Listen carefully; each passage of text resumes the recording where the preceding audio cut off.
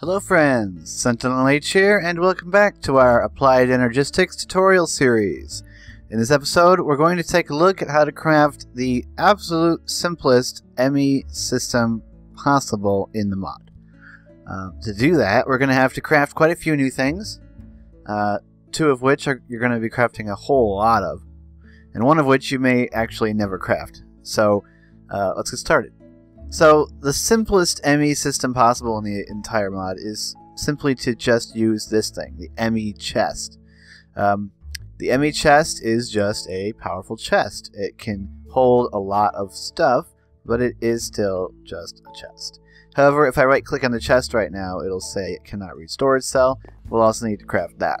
So, first things first, let's take a look at how to craft the ME chest. The ME chest is crafted using either a pure or a normal Fluix crystal, although I will always recommend you use pure for anything that can that can use pure. Uh, two iron ingots, two ME glass cables, two glass, and an ME terminal, which we'll take a look at how to craft in a moment. Or, well, right now.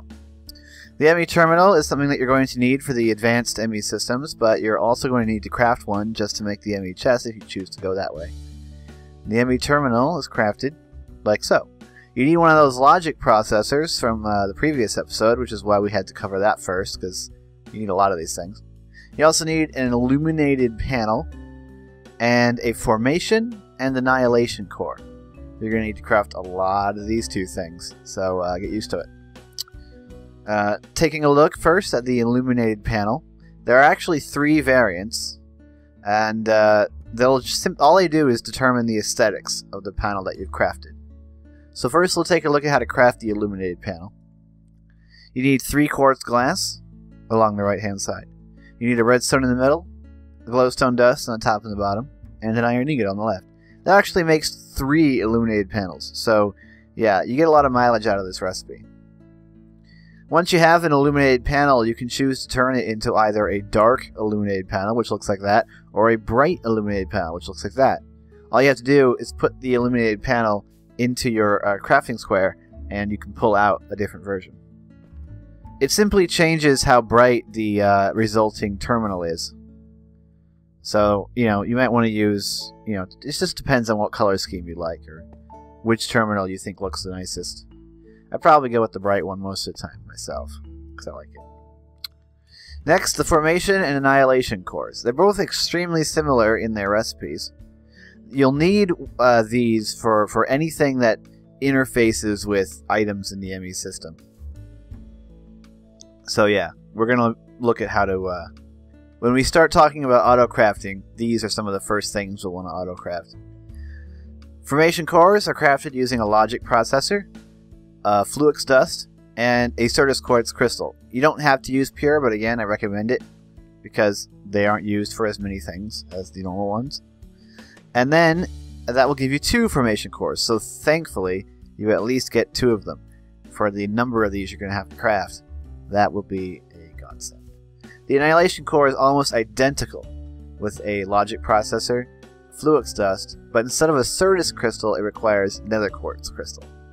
You don't have to use pure nether quartz crystal, you can also use a normal piece of nether quartz. And for nether quartz, it really doesn't matter because, uh, you know, you can get a lot of that from the nether. It's a lot more common than uh, Certus quartz is. So now we have all of that. You can craft your terminal, you can craft your chest, but like we saw earlier, uh, even once you give the chest power, because you do have to give the chest some power somehow, it uh, you can't open it. It says it needs a storage cell. That's what this thing on the side is. If we right click on this, we'll see there's a slot here. There's also a priority button. We'll get into that later. There's a slot here. You need to put an ME storage cell in there, like I have in my inventory. In order to craft one of those, we go over here. So ME storage cells are the backbone of the ME network. It's what you use to actually store the items. Um, there's multiple different sizes, but in this video we're just going to take a look at the 1K ME storage cell. In a future video we'll go over all the storage cells and how to craft them.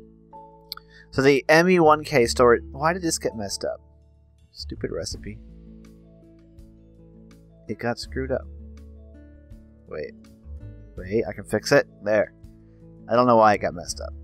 So the uh, the ME1K storage cell is crafted using three iron ingots, three pieces of redstone dust, two quartz glass, and a 1K ME storage component. And that is right over here. And it's crafted equally simply with a logic processor, four Certus quartz crystals, and four redstone dust.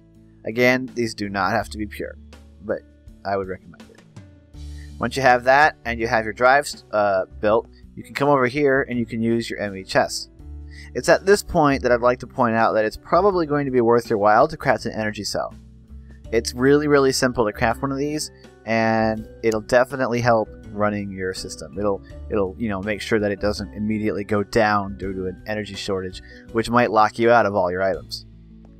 Energy cell is crafted simply with a piece of quartz glass, four fluix dust, and four quartz crystals. Again, Certus quartz crystals. Again, you don't need to use pure, but I would. So now that you have all that, you can use, you don't need this, the energy cell, I just recommend it. You can use your ME chest. The way you do it is by right clicking it into on the side of the chest and then placing it in this little uh, opening. You can see that the drive slots into the side of the chest, which is nice. And then the top of the chest changes and it looks like an ME terminal. And, and that's why you needed an ME terminal attached to it. Now, we can use this ME terminal to look at what's inside the chest. Currently nothing. But we can throw some stuff in there. No, I don't want to sort. I want to put them in the chest. Now you have some stuff in the chest. If we go and look at the side, we can see there's currently 48 of 1024 bytes used and 3 of 63 types. We'll start talking about this a bit later as well, but the main thing you need to know is that the each ME storage cell has a limited number of different items that can go in it, which is types, and a maximum value, a number of items, which is bytes. So we have, if I look at the top, we have uh, three stacks of 64 items in there, and that's currently using 48 bytes and three types. We can also look at this from the ME terminal over here, just because we've got it connected just as part of our little display. But you don't need this. If you have the chest, you can just open the chest up, pull stuff out, check the drawer, drive. Look, there's 8 bytes le uh, less being used. That's how this goes. So this is the absolute basic, most simple ME system possible in the mod. It's just an ME chest with a drive in it connected to a power source. That's it. Get this out of here. We don't want that. This is the simplest you could possibly get. It's not extremely useful, and oftentimes when I use Applied Energistics, I completely skip the chest and don't even make one. But it, you can it can be useful just to gain access to a large amount of items. Say you have a, a big drive that has a lot of items in it.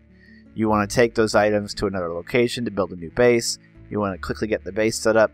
You bring a ch ME chest with you. You drop it down with a powered energy cell. You slap a drive in it, and right off the bat, you've got access to all your items. That's basically the, the goal of the ME chest. Gives you easy access to your items. Still needs power though.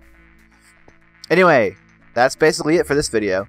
In future episodes, we'll of course continue to take a look at the other things. Now that we've talked about the ME chest, in the next episode we're going to talk about the ME drive and setting up a, you know, the beginnings of a more advanced ME system. We'll also talk about import and export buses.